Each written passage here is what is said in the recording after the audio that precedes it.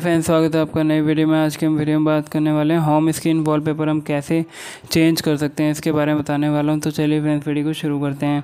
Video को शुरू करने से पहले अगर आप चैनल पर नए हैं तो चैनल को सब्सक्राइब कर वीडियो को लाइक कर दीजिए। फ्रेंड जैसे कि आप देख सकते हैं, मेरे पास ये शाओमी का फ़ोन है और आपको सबसे पहले क्या करना है सेटिंग पर क्लिक करना है। तो क्लिक कर लेंगे।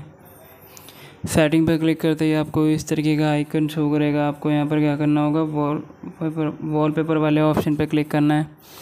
क्लिक करते हैं, यहाँ से आपको डिफरेंट डिफरेंट टाइप के जो है वॉलपेपर देखने के लिए मिल जाते हैं तो आप यहाँ से कोई सा भी चेंज कर सकते हैं अपनी होम स्क्रीन पर। तो मैं ये वाला कर लेता हूँ।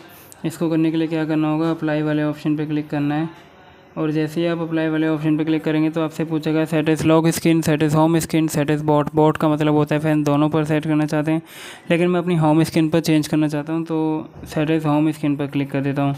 क्लिक करते ही आपका ये यहाँ पर चेंज हो जाएगा। तो उम्मीद है फ्रेंड्स वीडियो पसंद आएगी। वीडियो पसंद आए तो चैनल को सब्सक्राइब कर, वीडियो को लाइक कर दीजिए। मिलते हैं नेक्स्ट वीडियो में, तब तक के लिए नमस्कार।